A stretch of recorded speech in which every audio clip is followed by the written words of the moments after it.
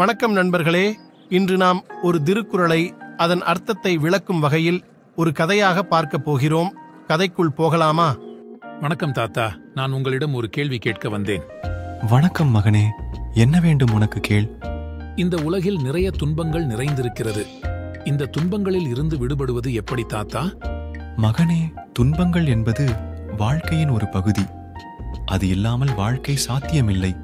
ஆனால் அந்த துன்பங்களிலிருந்து விடுபட வழிகள் இருக்கிறது. என்ன வழிகள் சொல்லுங்கள் தாத்தா ஆர்வமாக உள்ளது? அறவாழி அந்தணன் தாழ் சேர்ந்தார்.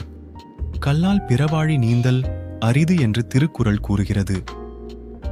அதாவது அறக்கடலாகிய இறைவனின் திருவடிகளை சேர்ந்தவர்களுக்குத்தான் பிறவிக் கடலாகிய துன்பக் கடல்களை கடக்க முடியும். தாத்தா. இறைவனின் திருவடிகளை எப்படி சேருவது? சொல்கிறேன் மகனே நல்லொழுக்கம் தர்மம் இறைபக்தி ஆகியவற்றை கடைபிடிப்பதன் மூலம் இறைவனின் திருவடிகளை சேர முடியும். நன்றி தாத்தா உங்கள் வார்த்தைகள் எனக்கு நிறைய நம்பிக்கை கொடுத்திருக்கிறது. மகிழ்ச்சி மகனே நல்ல வழியில் செல் உனக்கு நல்லது நடக்கும்.